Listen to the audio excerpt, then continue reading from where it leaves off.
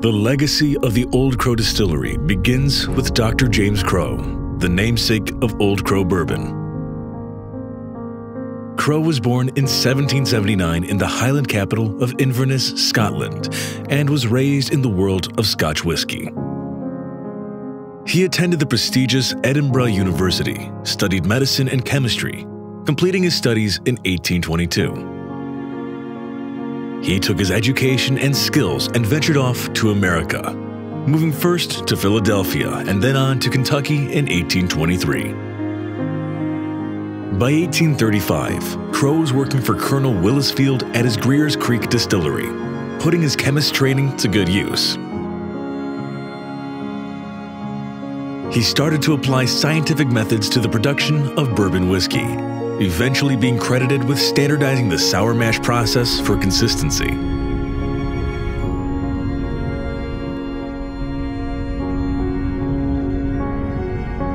His idea, where a portion of each mash, the setback, is added to the next mash, helping to kickstart fermentation.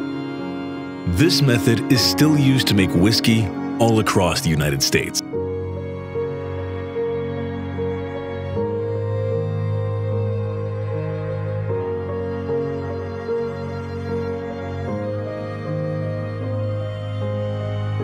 Through his efforts, Crow is credited with turning bourbon making from an art into a science. He was able to create great tasting whiskey and replicate the process over and over again.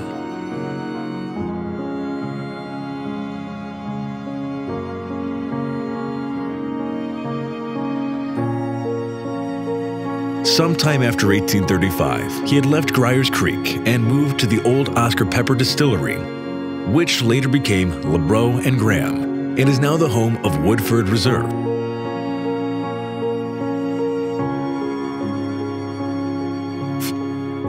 He became a master distiller, and here Crow first produced his Old Crow brand of bourbon whiskey. After leaving the old Oscar Pepper Distillery, he moved to the Johnson Distillery in Frankfort, Kentucky, where he worked until his death in 1856. His Old Crow brand rapidly gained national attention, becoming a favorite of Presidents Ulysses S. Grant and Andrew Jackson, and other famous men like Henry Clay and Mark Twain. After his death, James Crow was succeeded by William F. Mitchell. Mitchell inherited not only Crow's job, but his notes. Using those notes, he was able to replicate most of Crow's bourbon distilling processes, he went to work for the newly formed Gaines, Berry & Co. in 1872. Construction on their new distillery, right next door to the Johnson Distillery, was completed in the 1880s. A notable employee at the distillery was one Colonel E.H. Taylor, who was considered to be the father of the modern bourbon industry.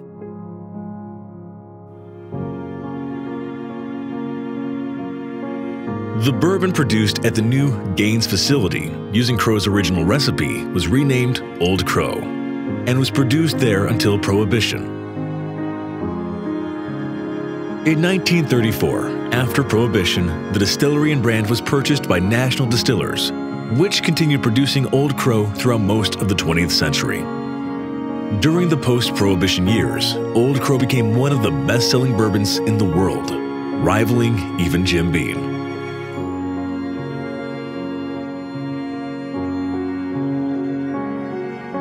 During and after World War II, unfortunately, National Distillers changed the Old Crow recipe and distilling process by focusing on industrial chemical distilling. This change resulted in a decline in reputation and ultimately in lowered sales for Old Crow.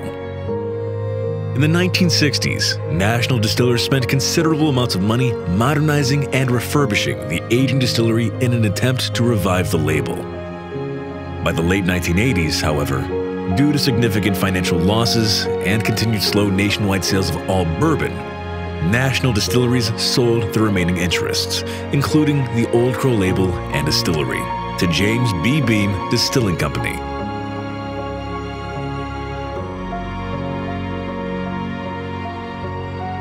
Jim Beam wrapped up production at the facility, closing the doors almost overnight.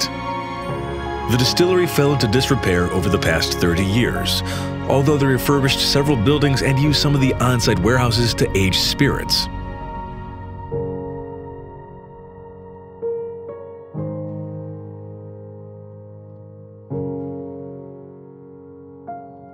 David Meier acquired the abandoned distillery in December of 2013 in order to produce his own spirits on the grounds of the historic distillery.